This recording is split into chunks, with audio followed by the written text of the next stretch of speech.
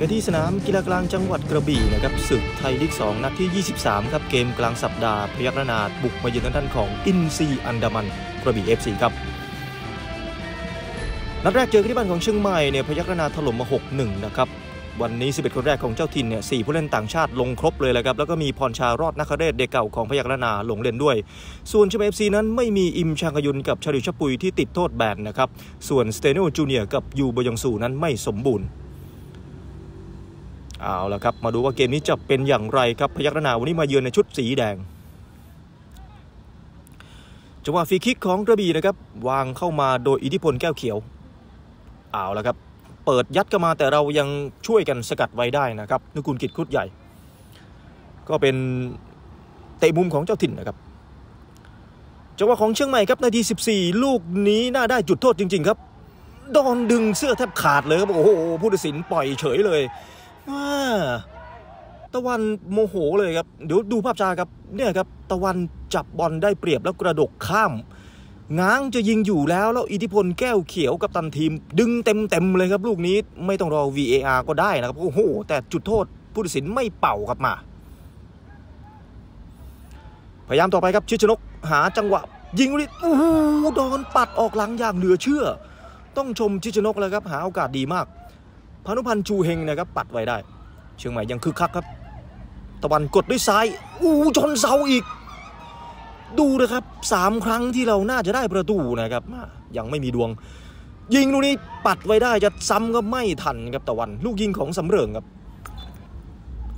ฝีคิกท้ายครึ่งแรกครับจักรพันธ์เปิดเข้ามาอู้ลูกนี้โล่งๆเลยแหละครับ แต่สระบุตรเกิดสีเข้าไม่ทันเตะบุมครับยัง จะกัดออกมาได้นะครับมาจบ 45 นาทีแรกครับเชียงใหม่ยังไม่นำนะครับรูปเกมเหนือกว่า แล้วก็มีโอกาสยิงหลายครั้งเหลือเกิน ยังศูนมาดูกันต่อในครึ่งหลัง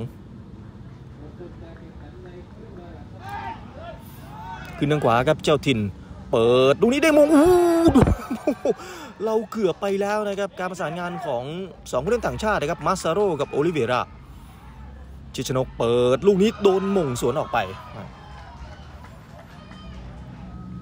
แต่มุมของกระบี่ครับเรายังสกัดไว้ได้ และในนาที 76 ครับเจ้าถิ่นเปิดเข้ามาแล้วนุกูลกิจสกัดไม่พ้นอันตราย โดนยิงสวนนี่เรียบร้อยเลยครับ โอ้โห ก็เป็นหน้าของตัวสำรองครับสราวุธทรลิตนะครับว่านาที 76 ครับ โอ้โห ดูเลยครับ เรามีโอกาสจะทำไม่ได้ครับสุดท้ายโดนลงโทษ ยิงดีด้วยนะครับคือไม่ปล่อยบอลตกนะครับบอล มาเข้าทางนี่กดเสียบเบียดเสาเข้าไปเลย โอ้โห นี่เพิ่งลงมานะครับ สราวุธยิงไกลตรงนี้ไม่ตรงกรอบนะครับ โอกาสของสุภชัยผู้ทองนะครับกองหน้าตัวสำรอง พยายามบุกหนักครับท้ายเกมเชียงใหม่ ตะวันลูกนี้ก็โด่งข้ามขานไปครับมาเราเสียในจังหวะสุดท้ายนะครับ ยังขาดขาดเกินเกินจักรพันธ์เปิดฟรีคิกลูกนี้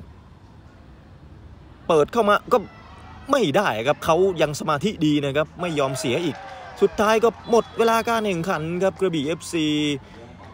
เอาชนะเชียงใหม่ FC ไปได้นะครับหนึ่งประตูต่อศูนย์ครับโอ้โหนัดต่อไปเชียงใหม่ FC จะออกนอกบ้านอีกครั้งนะครับในวันอาทิตย์ที่ 11 กุมภาพันธ์นี้นะครับบุกไปยืนทางด้านของนครศรีอยู่ในเต็ดครับ